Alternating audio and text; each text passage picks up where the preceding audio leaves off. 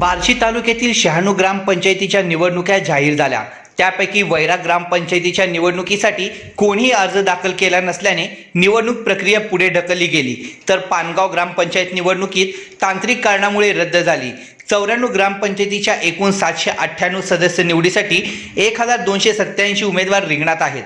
तालुक्यातील सोळा ग्रामपंचायती बिनविरोध झाल्या असून उर्वरित ग्रामपंचायतीमध्ये विद्यमान आमदार राजेंद्र राऊत व माजी मंत्री दिलीप सोपल यांच्यातच दुरंगी लढत होत असून काही गावात राजेंद्र मिरगणे शिवसेनेचे भाऊसाहेब आंधाळकर यांच्या समर्थकामुळे तिरंगी लढत होत आहे. ग्रामपंचायतीच्या निवडणुका ग्रामीण राजकारणाला दिशा देतात. त्यामुळे ग्रामपंचायतीवर आपले वर्चस्व अभिजित ठेवण्यासाठी तालुक्यात सत्ता स्पर्धेतील राजकीय नेत्यांचे समर्थक हिरहिरेने उतरले आहेत.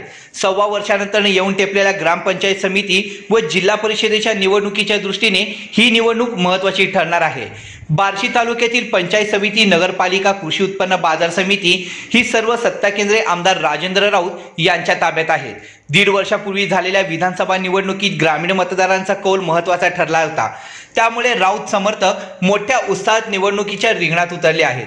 माजी मंत्री दिलीप सोपल यांच्या गटाला राजकारणातील आपले आव्हान कायम ठेवण्यासाठी वर्चस्वपणाला लावून लढावे लागणार आहे. या निवडणुकीनंतर नगर परिषदेची निवडणूक होणार असून त्या दृष्टीने जास्तीत जास्त ग्रामपंचायतीवर विजयाची वाटचाल लागणार आहे.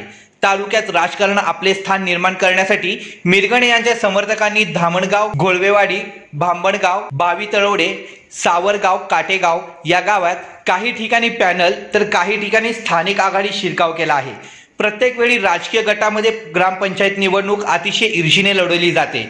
यंदाही सोपल व राऊत यांच्यातील चुरस कायम असल्याचे दिसत आहे. कोरोनामुळे ठप्प झालेल्या जनजीवनाचा व त्यानंतर अतिवृष्टी अन्य कारणाचा या निवडणुकीवर काहीसा परिणाम झाल्याचे चित्र आहे.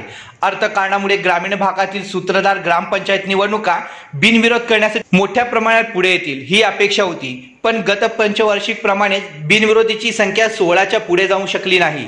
उलट बिनविरोध निवडीची अर्धशतकी पार असलेल्या मळेगावामध्ये निवडणूक होत आहे. विधायक पायडा खंडित झाला. तुलनेने धोत्रे गावातील ग्रामस्थांनी माजी सैनिकांच्या हातात गावाचा कारभार सोपवण्याच्या एकमुखाने घेतलेला निर्णय स्तुत आहे. मतदानांना केवळ दोन दिवस उरले आहेत. मतदानोत्तर सरपंच पदाच्या आरक्षण सोडीनंतर ग्रामीण राजकारणाचे चित्र स्पष्ट होणार आहे. निवडणुकीचा प्रचार सभा मोठ्या प्रमाणात झाल्या आहेत.